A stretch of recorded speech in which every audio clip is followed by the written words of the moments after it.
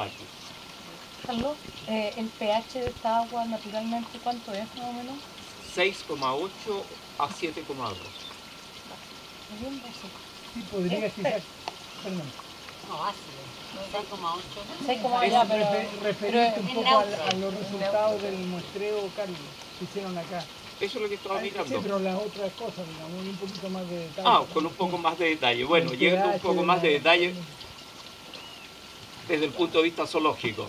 Eh, en, esta, en esta cuenca, por ejemplo, tenemos camarones.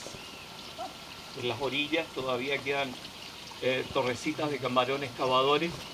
Eh, también hemos encontrado el grupo de los fragmentadores que no está en el otro, insectos fragmentadores.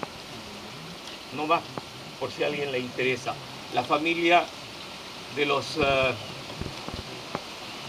por favor, nombre. Eh, no importa. eh, bueno, hay, hay un- una familia de plecópteros. Plecópteros es uno de los grupos importantes y que son animales de gran tamaño, justamente porque comen hojas podridas grandes. Eh, que son indicadores de, muy buenos indicadores de conservación.